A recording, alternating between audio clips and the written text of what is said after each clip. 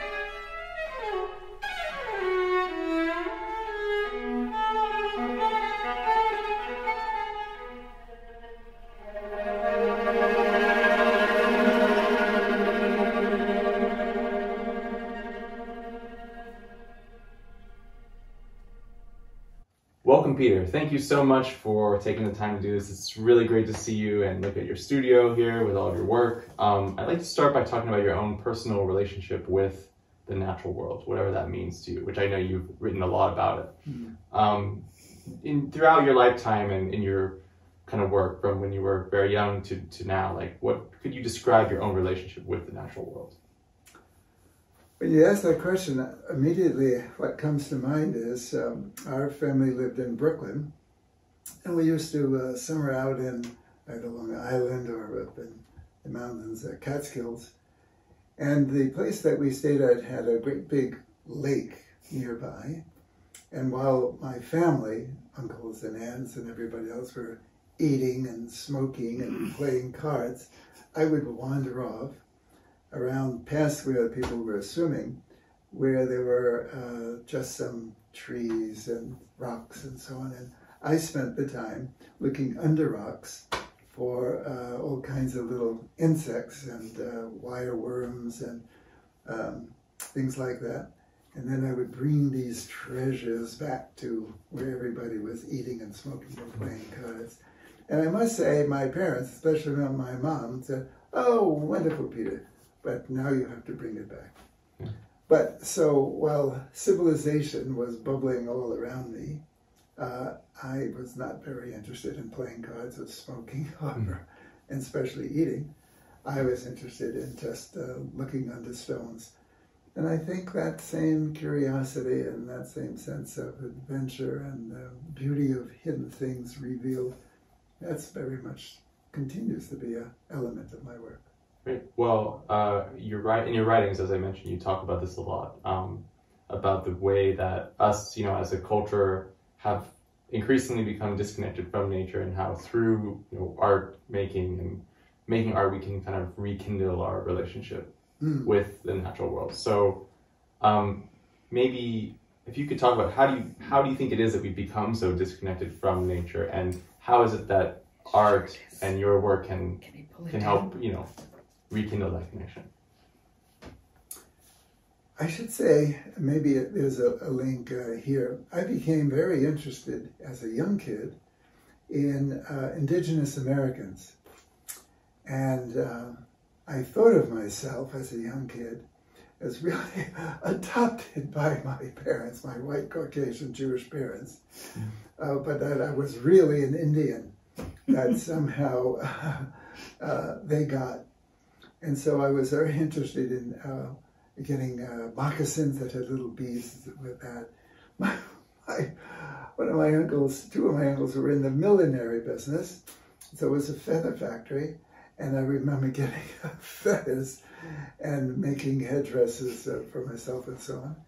And then the other thing was my mom, or maybe one of my aunts, it was my mother, got me um, Alfred Lord Tennyson's uh, Hiawatha, the Song of Hiawatha. And it, it was an enchanted world, that very, very different from my apartment in Brooklyn. So my fantasy life, I think, my imaginative life, my kind of soulful self, was not a kid growing up in Brooklyn, but somehow transposed to this other natural thing, natural world. Birch bark canoes and mm-hmm. bows and arrows and cooking things, potatoes on a little fire or something like that. So my my sense of civilization, I'm not very fond of civilization and what uh, a lot of it, uh, but I now in later years, so that was that indigenous year, the song of Hiawatha and and and that very important to me, and I drew a lot of those uh, pictures too. Later on, I became acquainted with um, uh, Buddhism and I found another, but a different kind of affinity with uh, the natural world as, as the thing that is uh, mm, 14 billion years old, knows how to do everything that is in the world, doesn't lie, doesn't cheat. Uh, and is unabashedly itself.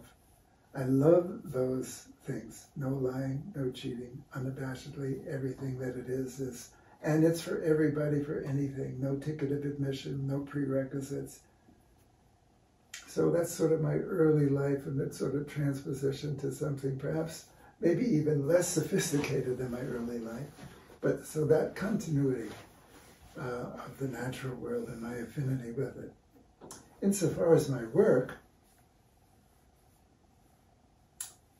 very, very briefly, at some point, and I wrote about this in one of my books, that I had this uh, this moment of uh, crisis that in my work and I guess my personal life that I didn't want to make things the way I was taught to make things by other people who were coming from a certain tradition. I wanted to see if I could make things like the cosmos makes things mm-hmm. by wearing and precipitating and rubbing and scrubbing and marking and clawing and so on and erupting and smoothing and suffocating and so on. And to see if I if I worked like the cosmos worked, what would that cosmos working through me, a particular formation of, mm. uh, of the cosmos, what would that look like? So a lot of my work is, that's what I am, a kind of a transistor between this world of the, of the great world and this particular human form of it and how it, it is uh, expressed. So maybe there's like, I mean, you grew up in Brooklyn, which is, you know, city, very city, right? And you always desire to be in nature in a way, which was sort of the opposite of your upbringing. Maybe it's something uh, like a certain baggage of of civilization too that you're hoping to kind of get away from in your artwork. Maybe like instead of trying to do things as people are telling you, trying to just to listen to what is there and let things sort of be themselves and draw closer to the self, which is something you also Mm. have written about. There's a nice little statement, I think, in the, the, the Tao, uh, uh, not the Tao of physics, but uh, Lao Tzu's uh, Tao. And he says, Do you think uh, you can improve upon the world? And the next sentence says, I don't think so. I like the idea of can I be a fully uh, mindful creature and not try to improve upon the world, make it any prettier or better uh, in some kind of way, but be as natural as the world is natural. And if I can do that as an artist, hopefully, the, the process and the effort to draw closer to nature that way in my art will somehow imbue that same quality in in my life. There's an element to your the previous question. Will that save the world by, Mhm.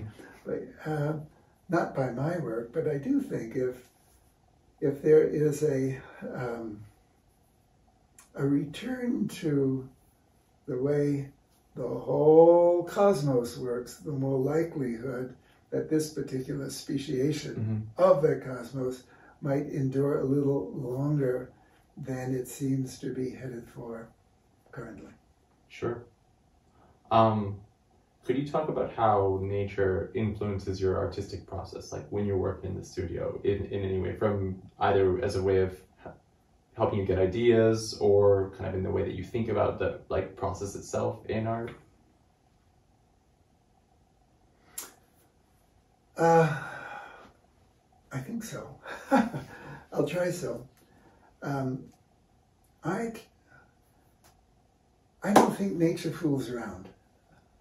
And I, when I work, I don't, I don't like to fool around. I don't like to embellish. That's what I mean by fooling around. I think nature is uh, is humorless. It's extraordinary. So I don't like to kid around. I don't like to be fool around. I don't like to be half-assed. Whatever nature does, it's, a, it's it can't help but being 100%. It doesn't have 99%. It only has 100%. I like to be 100%. Um, I don't. Uh, I don't. I try to. Nature doesn't seem to decorate anything. It is just what it is, and if it has, and and because it's up against survival itself, and it has to uh, live and thrive and throb in the world that is, doesn't take any prisoners. I, I like my art not to take any prisoners in that kind of way. Um, so I, I interpret how the world works biologically in physics and chemistry, and, and I guess because I'm human, bring it into kind of an ethical consideration in terms of how I make the things that I that I make. So in that way, there is that kind of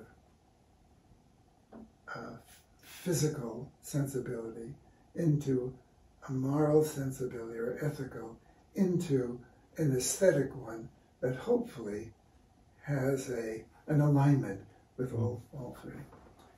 Do you see making art as a kind of activism in a way, or or do you feel that like your work as an artist is separate or not necessarily related to that? When I grew up in New York, my wife and I were very, very engaged in political affairs, in uh, uh, in uh, issues of uh, race. We, we we marched on Washington. We were actually there in the Martin Luther King uh, talk. We were in Washington again lots of times with Ban Bomb and Vietnam and then the war and angry arts and everything like that. And we're very politically aware then and active uh, in our community as well, running for school board and such. I found that um, at the time, it seemed like I was giving the very best of what I had to the very most important things of the world. I haven't noticed an iota of difference in the mm-hmm. world with giving it everything that I had. And um, and I rue I rue that. I'm not pleased that I've stepped away from kind of the front lines of political engagement with my art um, because I still believe that that the arts are also on the bulwark of the of civilization. But I have found that if if I'm of two minds, if when I'm what I was just saying before about not kidding around and being serious, etc., etc., and I'm also thinking of Trump and Biden, uh, and I'm thinking about the uh, Proposition 203 or something like that, then this becomes one more political adventure. I'm not good at the political adventure. um, I, I pour whatever I had into it for decades, mm. decades, and heard nothing in response. It's like talking, talking, nobody there. Now maybe there was somebody there, but not, but not that I know of. At least here, I have when I make a mark, it's there, and um, and it's unequivocally there, and and it's uh, it's autobiographically there. Does it change the world very much? It changes that tiny little section that I just drew upon. It's like being a, a, a teacher.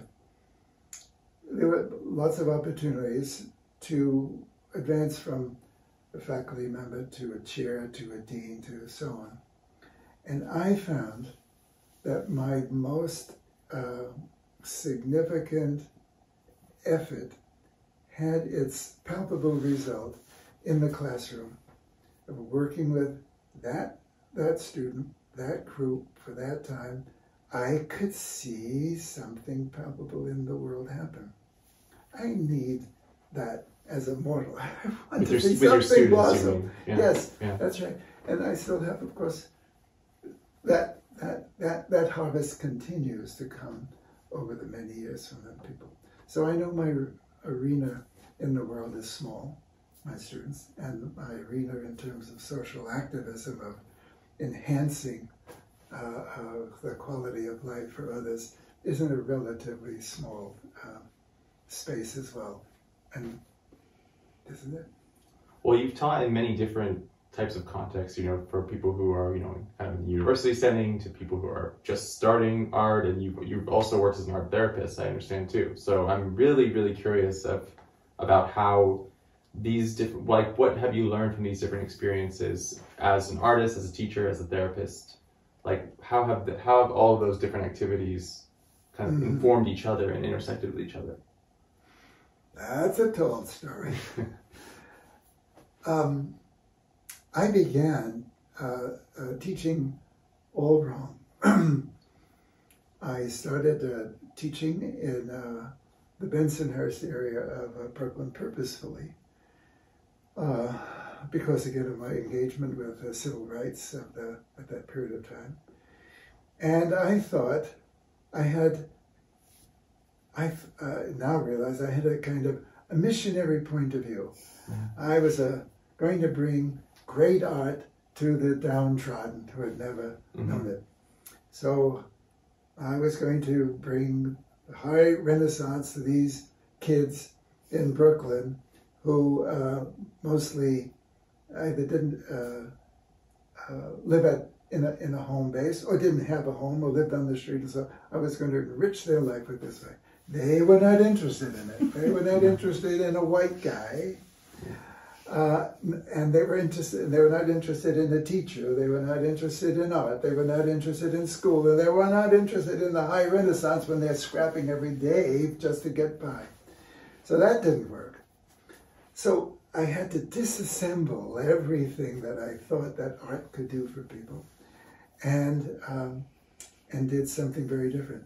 uh, I had to start from zero, my zero, but I but what I started was was with oh you're not interested in me and what I have to say and Columbia University and all things like that. So oh, what are you interested in?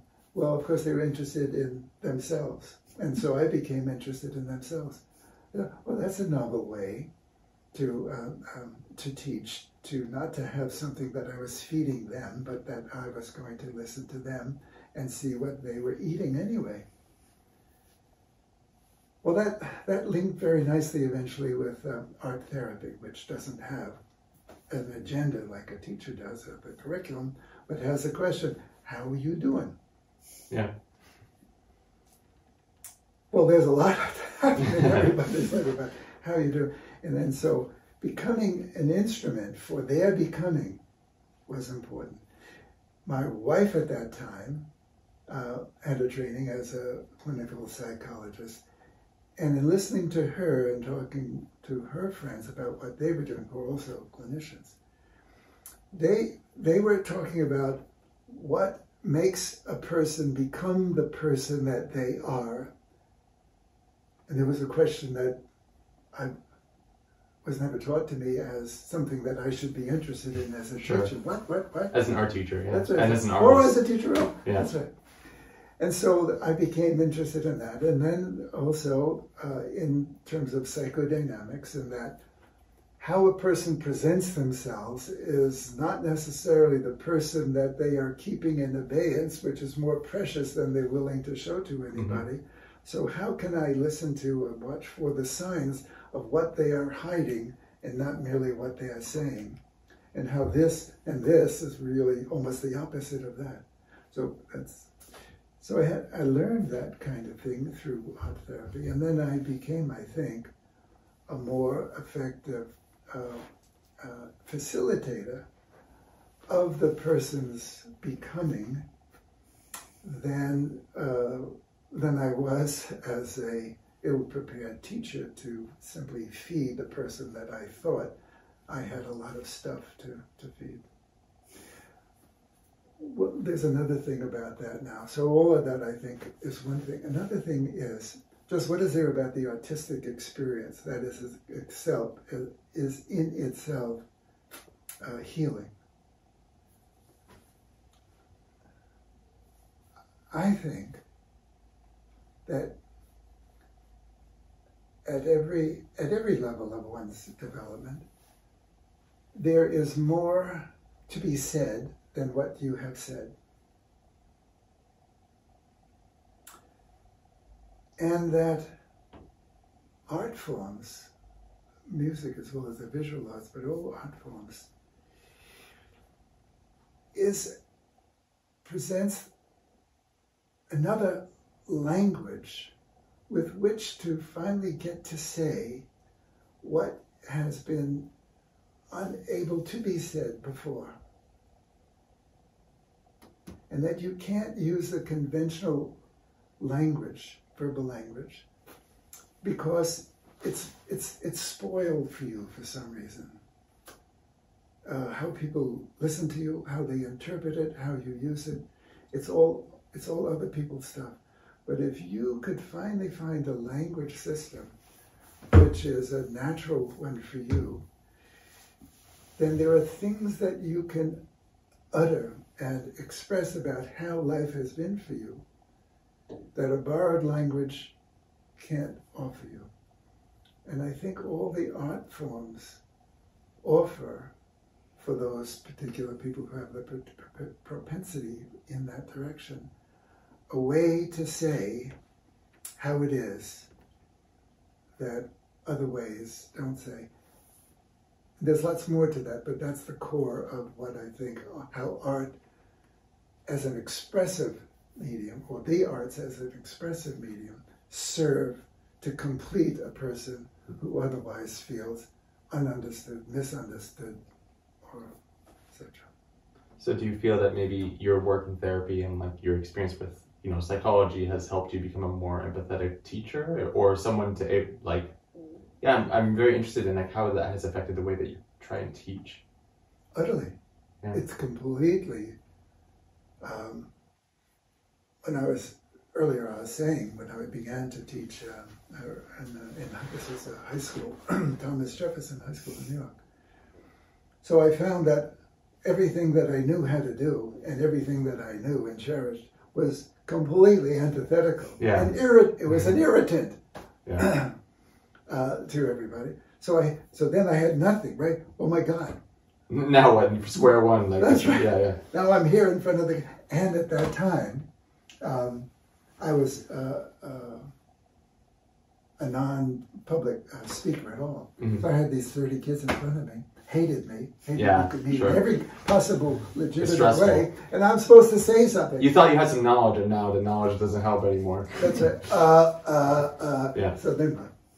Uh, so that didn't work. So, as I say, then completely turning around me instead of as a professor, but me as an inquisitor Mhm. and as a helpmate and as a facilitator and as close dancing, but not too close and not too far away, offered, offered an, uh, uh, a thoughtful and, uh, and available and rich literature that I could then um, uh, enter.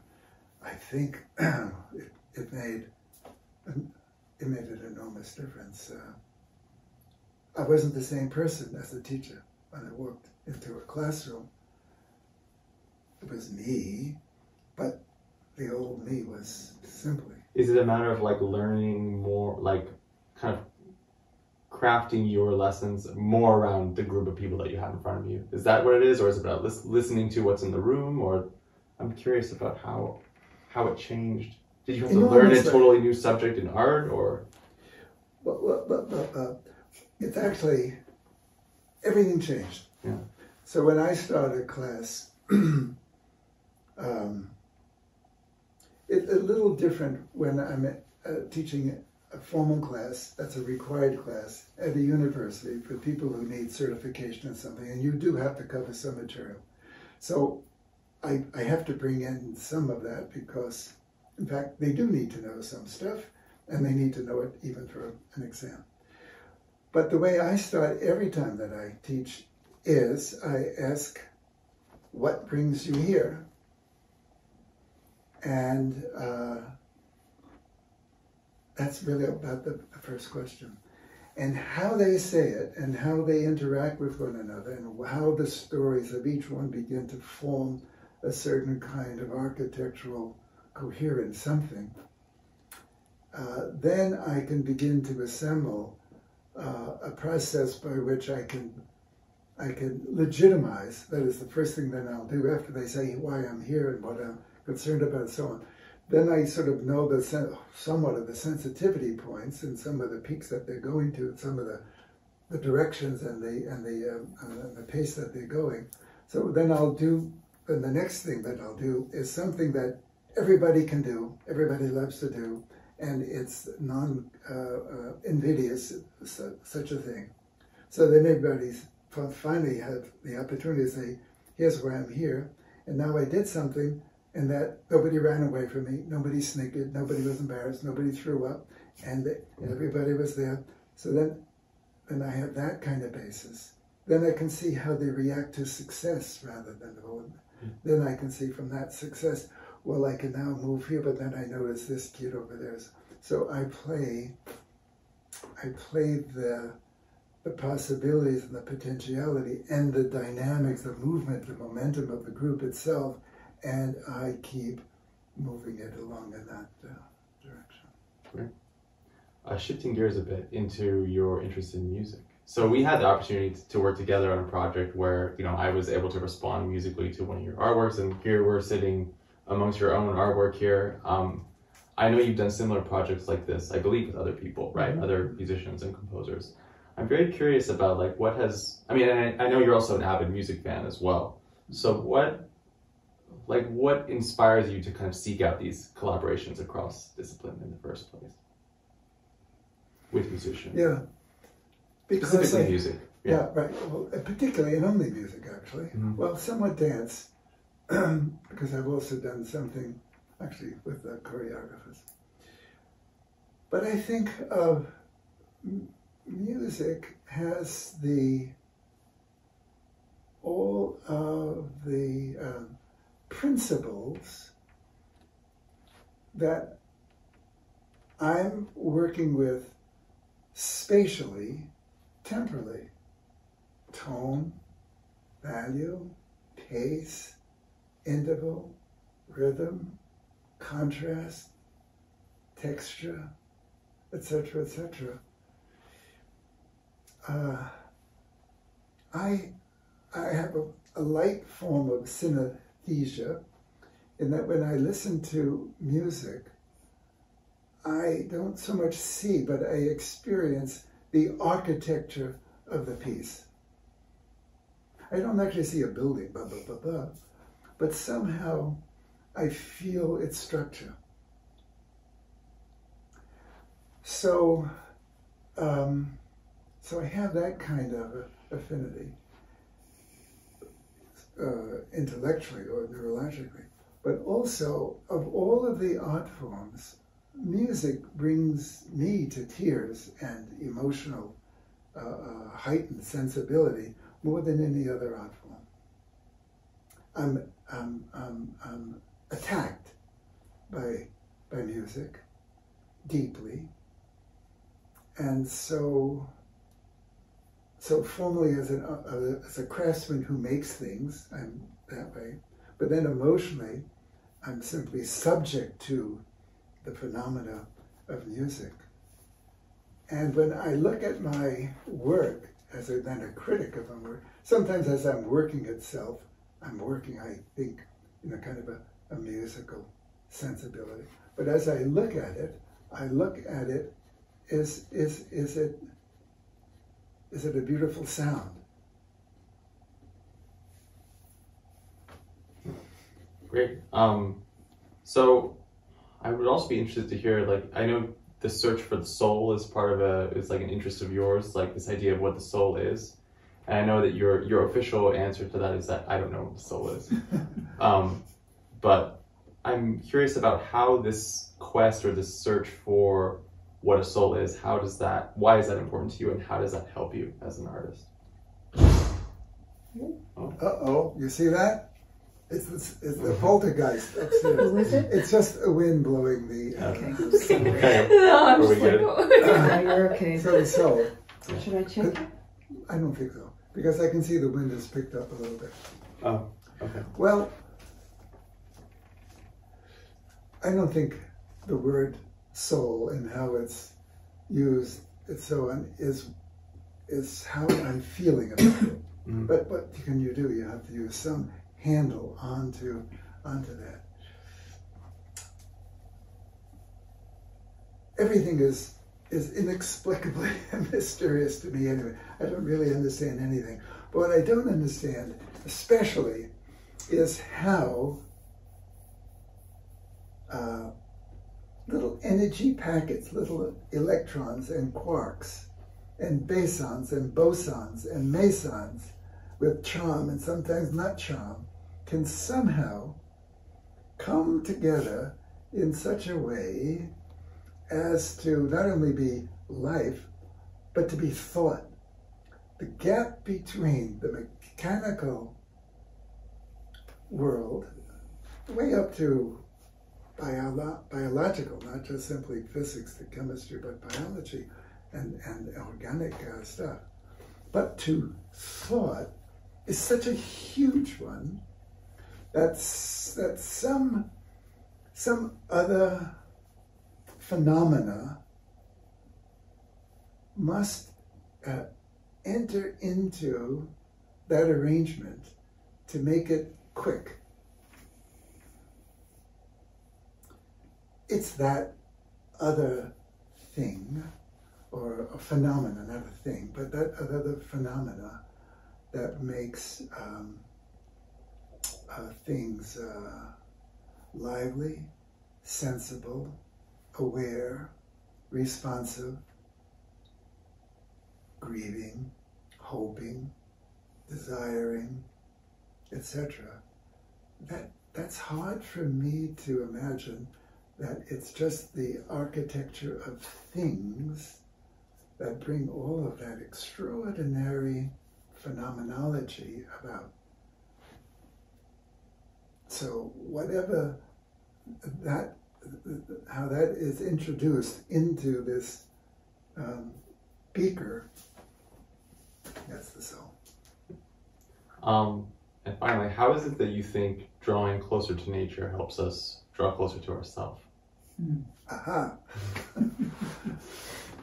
um, because um,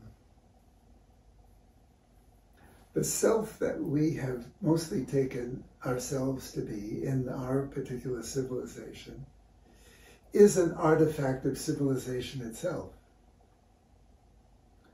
and of the stories and of the customs and the ways of this particular species.